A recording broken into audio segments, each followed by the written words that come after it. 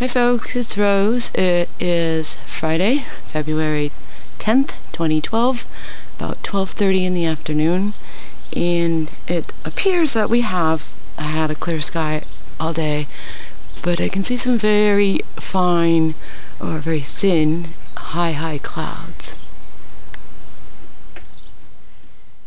So it's almost like it's um, a hazy or filtered sunlight. Uh, I'll take a quick shot out front. By the way, it's 45 degrees, which is warmer than the forecasters had predicted for today. So it's mild, and there is just a slight breeze.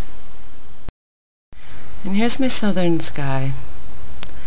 Now I know why my sky is a bit hazy, because there has been some uh, light spraying going on south of here and I think the wind is out of the south right now.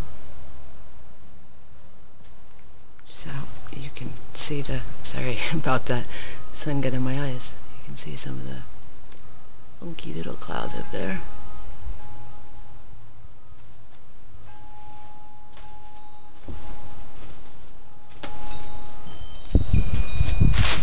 Oh yeah, those trails are a little more obvious now that I'm standing here.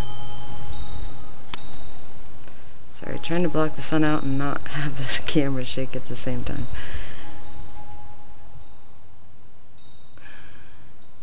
So that's my lovely sky today.